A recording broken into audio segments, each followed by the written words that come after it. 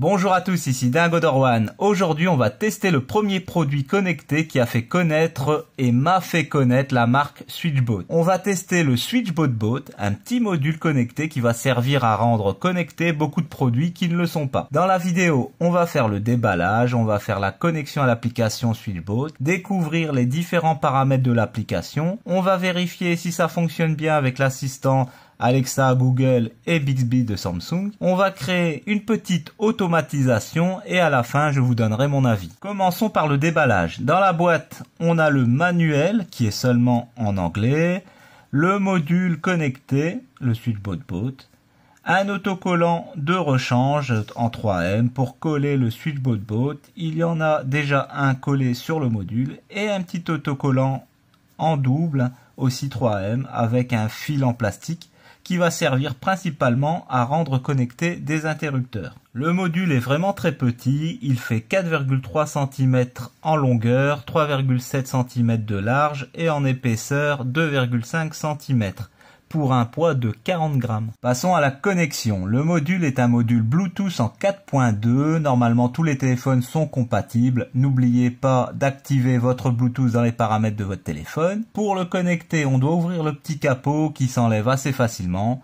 On retrouve à l'intérieur une pile modèle CR2, une pile de 3 volts pour une durée de vie donnée de 600 jours. On a aussi le bouton de réinitialisation qui normalement ne doit pas servir à la première connexion. On enlève la protection de la pile et là le module est en fonctionnement. On va sur l'application SweetBoat, on clique sur le petit plus en haut à droite, on va retrouver directement le module qui a été repéré par l'application. On clique sur le module et voilà, le module est connecté. On le renomme, moi je vais l'appeler Robot Dingo, on valide et voilà, c'est tout ce qu'il y a à faire.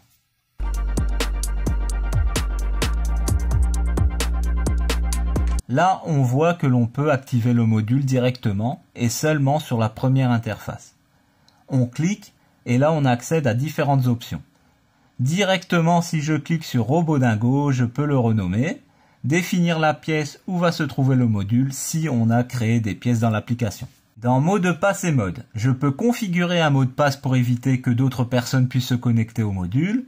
Je peux changer le mode, il est mis d'office en mode presse, pression, mais si je veux l'utiliser sur un interrupteur on et off, je dois mettre le module en mode commutation. Là, le petit bras motorisé sort. Je peux fixer l'autocollant 3M pour l'interrupteur. On peut régler le temps de pression, le temps de maintien de 0 secondes à 60 secondes ça peut être très utile pour certains appareils. Je peux aussi inverser le sens de marche et arrêt, tout dépend bien sûr le sens de votre interrupteur. Sur l'application apparaît une interface on et off. Je peux aussi faire une programmation horaire. Après, si on possède la télécommande, comme moi, c'est là qu'on va rajouter la télécommande. Je vous montre ça.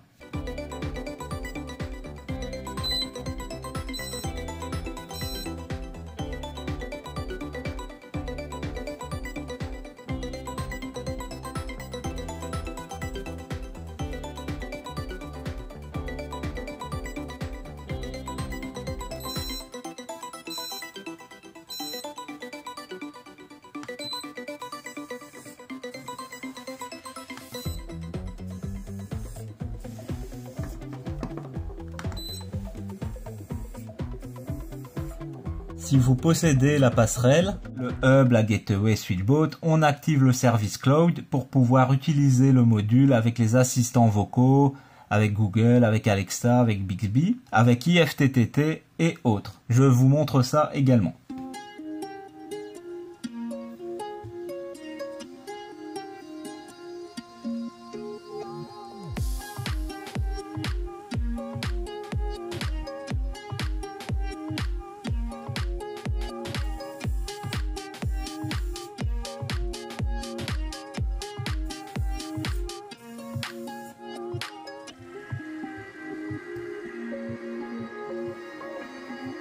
Alexa, allume Robodago.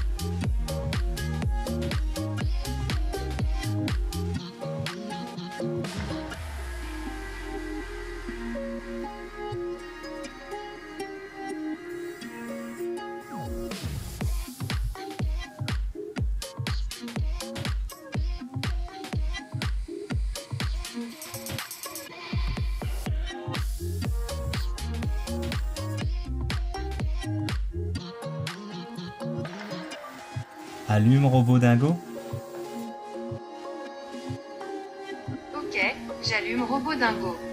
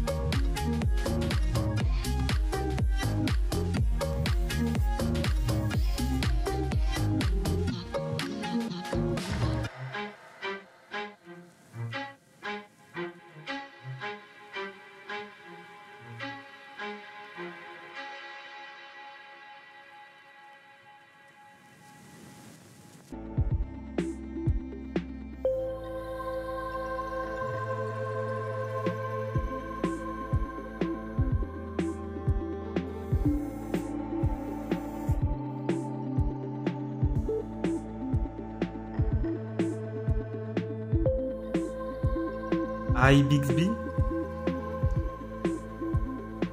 Allume robot dingo.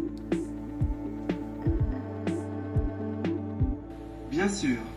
J'allume l'appareil robot dingo. Si vous avez les petits tags NFC, vous pouvez aussi le rajouter pour allumer et éteindre le module. Je vous mets le lien en description pour voir ma vidéo de test sur les tags NFC. Ensuite, on a accès au log pour voir l'historique de fonctionnement, savoir exactement quand le module a été actionné.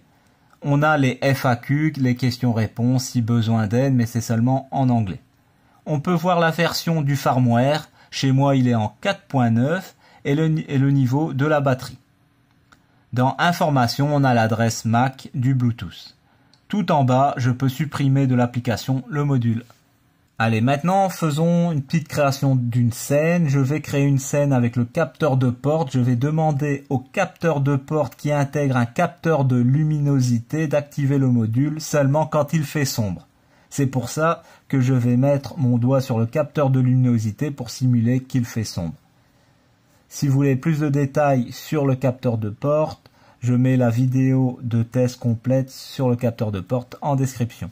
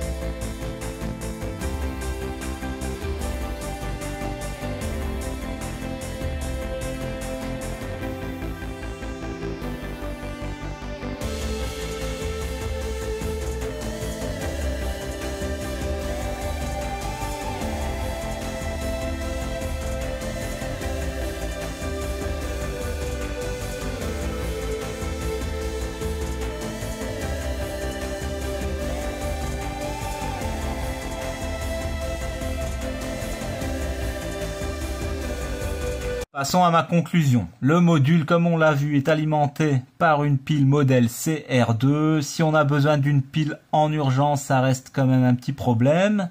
Mais bien sûr, ce genre de pile est facilement trouvable en ligne et surtout à des prix raisonnables pour 3 à 5 euros que ce soit sur Amazon ou AliExpress, je vous mets des liens en description. J'ai trouvé que via l'application, que ce soit sur l'application Sweetboat ou sur Alexa, Google ou SmartThings, le module manque quand même un peu de réactivité.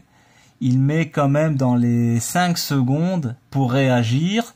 Parfois, il y a des bugs de connexion. Euh, via une automatisation, la réactivité reste correcte. Si on possède Ici, comme moi, la télécommande, la réactivité devient quand même plus agréable. Le switchbot bot réagit directement, donc il réagit pratiquement directement à l'instantané, mais c'est encore 15 euros en plus à rajouter.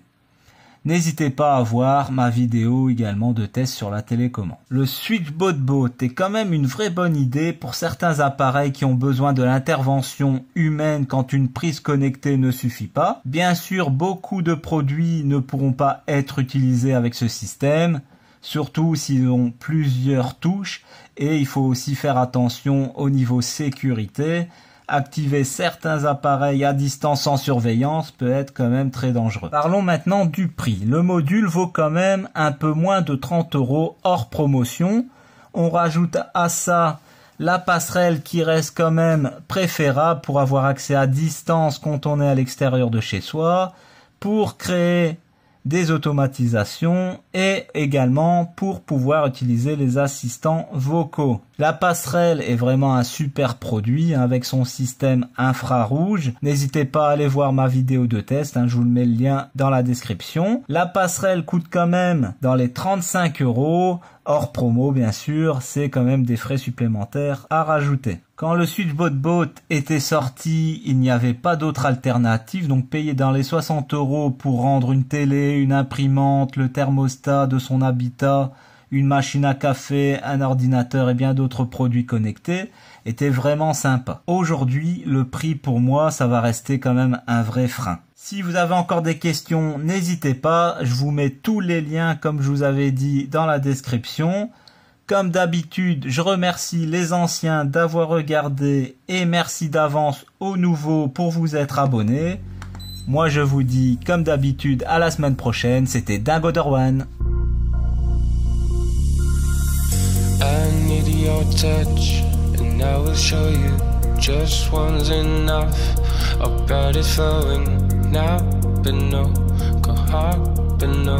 spark. I know what I'm at doing wrong I feel your clutch pulling me through.